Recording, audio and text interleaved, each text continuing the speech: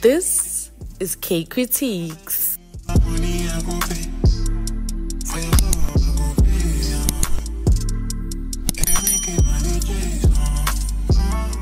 Hello, everybody, and welcome to another episode of Kay Kritiques, where we discuss all things South African television. Now, let us discuss Youngin Season 1, Episode 16 to 18. Now, guys, these episodes were so hectic, so let us get into it. So, in the previous episodes, we saw Buhle seeing the principal actually touching this other girl's thigh. We soon find out that her name is Lerato. They are now at assembly, and he's literally literally staring at this girl, ogling her in front of the whole school at assembly. And he's not even trying to be subtle about it, which is disgusting. So then ah, Amo actually is like, okay, we want to expose the principal, but we need to get proof because last time Zintle didn't give us any proof. And Buhle is like, I'll speak to Lerato. She goes to speak to Lerato and is like, Do you know what grooming is? And what the principal is doing is not right. We see that there was a gift bag in her room, so I'm thinking that the principal did get that for her and she was taken by it. Lerato doesn't want to hear it but she eventually comes around and she's like, The principal said he wants to see me after school, and they plan to record him. Now, Amo, upon hearing this, she's like, Yes, we finally got the principal. She is on cloud nine. Like, finally, we're gonna expose this guy. Utumelo, the more time goes, he wants to back out and he's like, oh, guys, I'm not so sure about this whole exposing the principal thing. But his morality also won't let him keep quiet because he's like, if the principal is doing something wrong in the school, then he needs to be exposed. And if we have to be the ones to expose him, then so be it. Ukhaya, on the other hand, he has a sense of loyalty to the principal. And I feel like it's because this guy's the only one who's ever shown him any affection, love. He's almost like a father figure. He's literally the opposite of what his father is. But he's like, no, guys, I want to attend the next meeting and I'm loyal to you guys. And I'm like, you just want to spy on these people. Like it was so obvious to me that his loyalty is more towards the principal than these ones.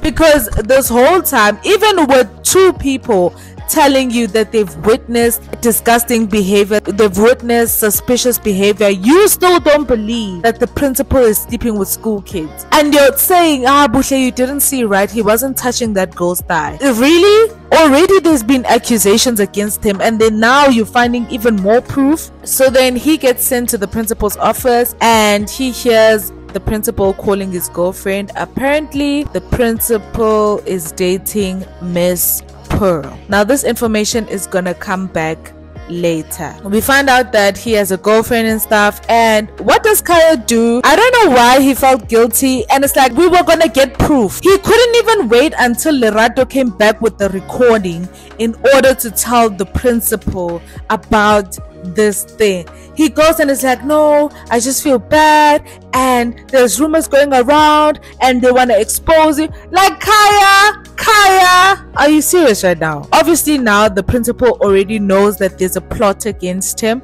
so obviously, he's gonna lie low and stay undercover. When Lerato comes back, she's like, You guys made a fool out of me. I just knew. I just knew that everything you guys were saying was lies. And when they listen to the recording, everything sounds innocent. And the principal is like, No, you're one of my students, and I care about all my students. Don't misconstrue my kindness and take it as me wanting anything more than you. I'm your principal, and you're my student. All because of Ukhaya. And then he only feels guilty afterwards. He feels guilty after doing it. And then he's still attending meetings where they're coming up with plans, knowing very well that he's already snitched. So when they listen to the recording now, he actually is happy. He's like, Yeah, the principal, he's a good guy. I was telling you, maybe Mr. Ramatuba was right. Like, you cannot be this dumb. Like, you honestly cannot be this dumb. There's a plan to expose the principal. They're gonna get proof. The principal wants to see the girl that he was busy touching in his office after school. And then, as soon as you tell him about this information, he changes the plan to see the girl during second break. And then in the recording, he's all of a sudden being so diplomatic. How does it not click in your head that this is only happening because you are the one who told the principal everything. But, anyways, the principal then gets away and buys him soccer shoes to buy his silence.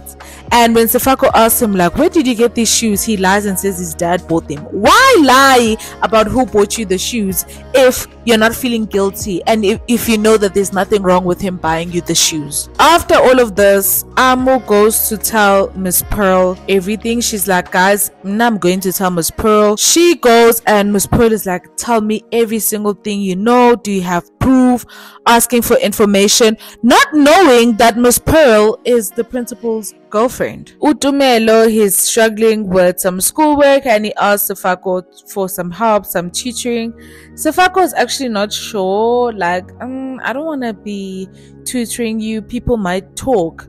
And I'm like, what does studying have to do with being gay? What's the correlation between studying and being study buddies or tutoring somebody as a head boy and you being gay? But then in the end he was also like yeah but i'm gonna help you study either way but we have to do it low key because i don't want my boyfriend to be failing in school. So he actually confirms that they are boyfriends. He makes it official and Dumelo was very happy about that. They're busy writing an english test and Utumelo instead of studying he actually pulls out Sefako's answers and cheats on the test.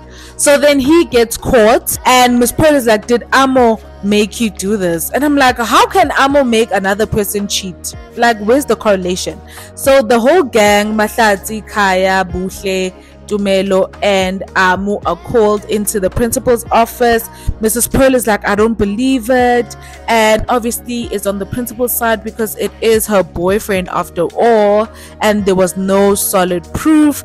And then all of them are now in trouble because he's like, I could sue you guys. This is defamation of character.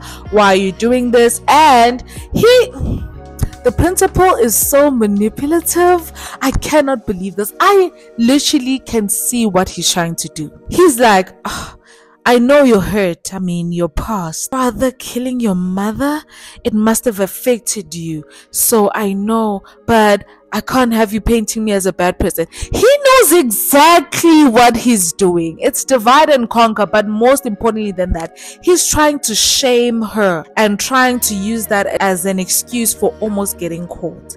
That was disgusting. And then calls the aunt for a parents meeting and then he tells the aunt, the first time I saw Amo, she was at the club drinking. This guy is so manipulative. He's literally using Amo's secrets or Amo's weaknesses against her. So now we are at the end. Obviously, the gang gets detention and stuff like that and they are all pissed. They are all pissed that Amo, especially Buhle, because Buhle is like, You lied to me. You sleep in the same room as me. I've told you about my parents. I've told you about my parents' trauma. I've told you about my home life, and you lied. You lied and you said, Oh, my parents are perfect, and you made me feel like crap about my life. Meanwhile, you were hiding this. And she's like, I, I trusted you. I've been your friend. I've been supporting you. Maybe I didn't even see clearly. You trying to get us into some crap because before you even came here, before we met you, our lives were fine. And so that's how it ends. Everybody just leaves her and abandons her. Even Mahlatsi. And Mahlatsi had wanted to take her out on the date. That's how episode 18 ended. And yeah, guys, please do let me know your thoughts in the comment section down below. I just feel like this whole thing is crazy. Like, I need them to find out that Khaya is the one who warned the principal about their plan because now everybody's pinning it on Amo as if Amo's crazy and that she lied about the principal, whereas she's telling the truth and Buhle saw it with her own two eyes. The principal needs to be caught. And I actually thought this was going to be the season finale, but it's not. There's actually more episodes that are going to come out, so I can't wait to see how that is going to go. But yeah, guys, that was Youngin season 1, episode 16 to 18 and I'll see you guys in the next video.